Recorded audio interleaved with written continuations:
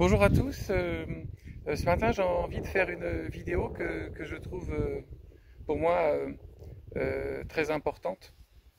Je, je reviens de mon pèlerinage à Lisieux que je fais trois fois par an depuis dix ans et à chaque fois quand je reviens ben, j'ai l'impression de monter des marches supplémentaires au niveau de la spiritualité, je dis bien de la spiritualité et pas de la religion.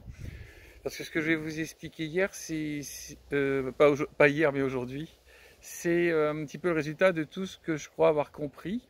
Donc euh, j'impose rien, je, vais vous faire un résumé assez sommaire pour, essayer de mettre cette vidéo dans une compréhension assez simple pour tout le monde. Donc, je suis pianiste, je joue du piano depuis 50 ans, depuis 40 ans je suis professeur et puis depuis 30 ans je fais des portraits musicaux, des portraits d'âme, c'est-à-dire ce qui permet de lire ce que émane quelque chose au niveau vibratoire par rapport à aux, aux, sensations qu'une personne dégage en fait. voilà. Donc c'est quelque chose de vibratoire.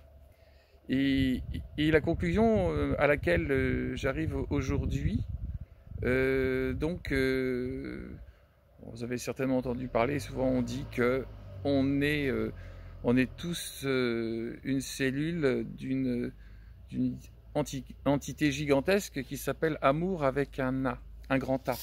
Alors le souci, c'est que le mot amour, il est complètement connoté dans notre société euh, ça, c'est dommage parce que l'amour se, conjugue comme euh, les couleurs infinies d'un arc-en-ciel.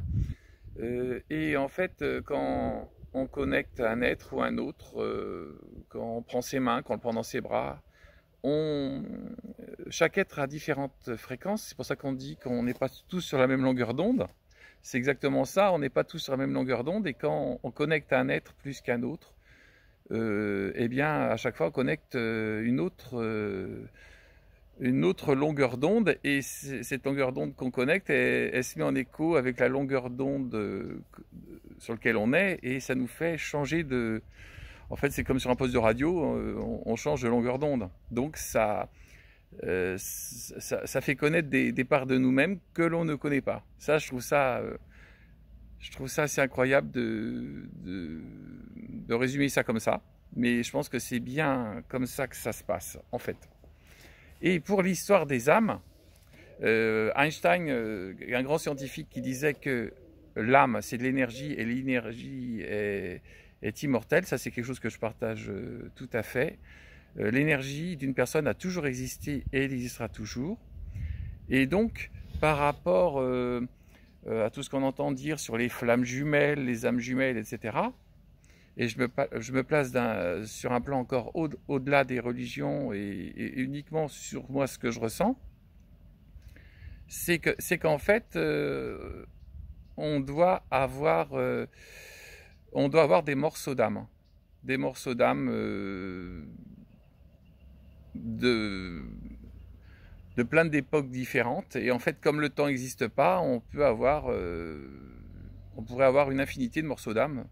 Ce qui fait euh, qu'ensuite, on peut avoir des réminiscences, ce qu'on appelle les vies antérieures de, de telle époque. Euh, on peut avoir énormément de vies antérieures, mais on peut avoir effectivement énormément de mémoire parce que si, si, on, a, si on a énormément de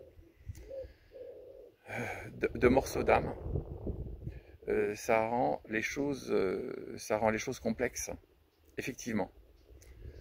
Donc, euh, c'est ça que, je voulais exprimer un petit peu, de, façon un petit très résumée, effectivement, parce que c'est quelque chose qui nous dépasse tout à fait, puisque ça ça met en résonance le fait que le temps n'existe pas, qu'il y a plein de monde, plein d'univers, qu'on peut voyager dans le temps.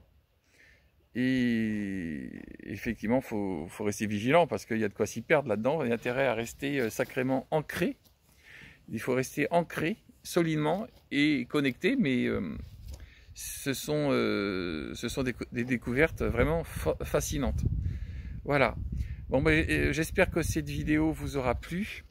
je, vous je, vous encourage à, à, vous abonner à ma chaîne YouTube, à voyager sur mon site et je vous souhaite un bon été et je vous dis à très bientôt.